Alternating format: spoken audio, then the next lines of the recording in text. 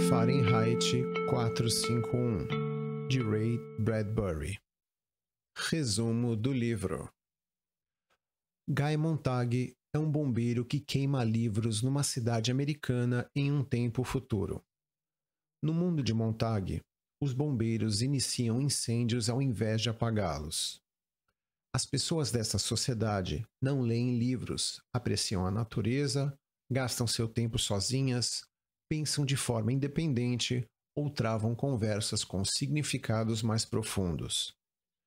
Ao invés disso, elas dirigem em alta velocidade, assistem televisão em excesso e ouvem rádio continuamente através de aparelhos minúsculos adaptados nas suas orelhas. Montag encontra uma garota de 17 anos chamada Clarice McClellan. Ela abre seus olhos para o vazio da sua vida, fazendo perguntas ingênuas e penetrantes e demonstrando interesse incomum pelas pessoas e pela natureza. Durante alguns dias, Montag vive uma série de eventos perturbadores. Primeiro, sua esposa Mildred tenta suicidar-se engolindo um vidro inteiro de pílulas para dormir. Pouco depois, Montag atende a um alarme sobre uma senhora idosa que é denunciada por ter uma pilha de livros escondidos. Ele fica chocado quando a senhora se recusa a abandonar os livros e é queimada viva com eles. Alguns dias mais tarde, Montag descobre que Clarice tinha morrido atropelada por um carro em alta velocidade. A insatisfação de Montag com sua vida aumenta. Ele começa a buscar por uma solução num punhado de livros que tinha roubado durante seus incêndios e escondido num duto de refrigeração. Quando Montag não aparece para trabalhar, seu chefe bombeiro, Beatty, lhe faz uma visita. Beat explica que é normal um bombeiro passar por uma fase de questionamento sobre o que os livros têm a oferecer e dá uma longa explicação sobre os motivos para o banimento dos livros. De acordo com Beat, tudo começou com certos grupos específicos que contestaram livros que os ofendiam. O processo se espalhou para outras minorias e logo todos os livros começaram a se parecer pois os escritores tentaram não ofender ou magoar ninguém. Entretanto, isso não foi suficiente, e a sociedade decidiu simplesmente destruir os livros ao invés de permitir opiniões divergentes. Como os bombeiros tinham perdido sua função depois da adoção de materiais de construção não inflamáveis, eles foram selecionados para queimar os livros existentes. Beat diz a Montag que evidentemente ele está passando por essa crise. Ele concede a Montag 24 horas para ler seus livros roubados e ver se existe algum conteúdo de valor. Após este prazo, os livros deverão ser entregues para serem incinerados. Montag aceita e começa uma longa e frenética noite de leitura. Ler parece ser uma tarefa demasiado pesada para Montag. Ele procura sua esposa em busca de ajuda e apoio, mas ela prefere assistir televisão à companhia do marido e não consegue entender por que ele cometeria o terrível ato de ler livros. Montag lembra que conhecera certa vez um professor aposentado de literatura chamado Faber e decide que ele poderia ajudá-lo a entender o que estava lendo. Montag vai até a casa de Faber e diz que o valor dos livros está na descrição detalhada da vida que eles contêm. Faber também diz a Montag que, além de livros para ler, também é necessário tempo livre para lê-los e de liberdade para discutir e analisar suas ideias. Faber concorda em ajudar Montag com sua leitura, e os dois traçam um plano arriscado para modificar a sociedade na qual vivem. Faber irá entrar em contato com um impressor para começar a produzir livros, enquanto Montag irá plantar livros na casa de outros bombeiros para desacreditar a profissão e desmantelar o esquema de censura.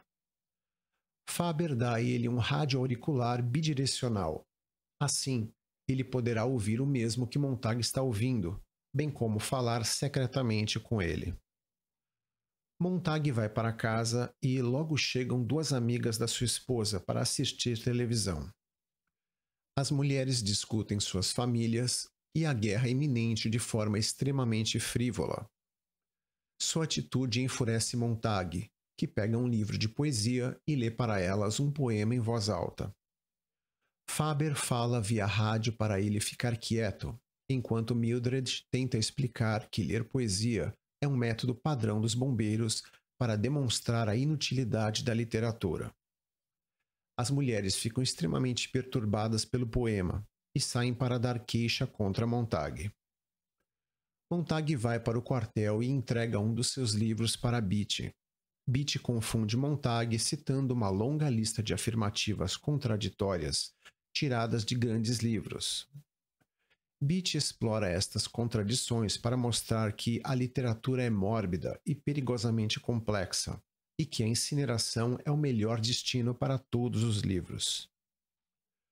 O alarme soa repentinamente e os bombeiros se apressam em atender ao chamado. Logo, eles descobrem que seu destino é a casa de Montag. Ao chegarem, eles veem Mildred saindo da casa com uma mala. Montag percebe que sua própria esposa o denunciara. Beatty força Montag a queimar sua própria casa, enquanto o insulta sem parar. Ao terminar, Beatty declara que ele está preso, sem interromper suas repreensões. Montag reage e dispara sua lança-chamas contra Beatty, reduzindo-o a cinzas. Ele derruba os outros bombeiros e foge. O sabujo mecânico, uma máquina monstruosa que Beat tinha ajustado para atacar Montag, o agarra e injeta uma grande quantidade de anestésico na sua perna. Montag também consegue destruí-lo com seu lança-chamas. Ele consegue aliviar um pouco a dormência na sua perna e foge com alguns livros que tinha escondido no seu quintal. Durante sua fuga, ele os esconde na casa de outro bombeiro e aciona um alarme de um telefone público. Montag vai até a casa de Faber, onde ele descobre que um novo sabujo mecânico foi colocado na sua pista, juntamente com vários helicópteros e uma equipe de televisão. Faber diz a Montag que está partindo para St. Louis, onde se encontrará com um impressor aposentado que poderá ajudá-los. Montag dá algum dinheiro a Faber e explica a ele como remover seu cheiro da casa, para que o sabujo não entre ali. Ele pega algumas roupas velhas de Faber e corre na direção do rio. A cidade inteira assiste pela TV o desenrolar da caçada, mas Montag consegue escapar no rio e veste as roupas de Faber para disfarçar seu cheiro. Ele é levado rio abaixo até o campo, onde segue alguns trilhos de trem abandonados. Montag encontra um grupo de intelectuais renegados que se intitulam de Polvo dos Livros. Eles são liderados por um homem chamado Granger, que os saúda amistosamente.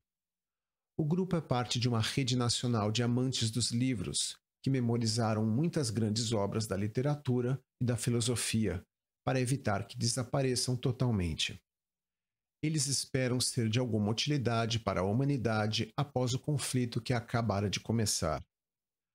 Montag é encarregado de decorar o livro de Eclesiastes.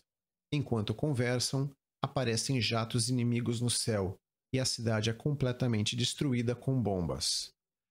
A história termina com Montag e seus novos amigos seguindo para a cidade em busca de sobreviventes e se preparando para reconstruir a civilização.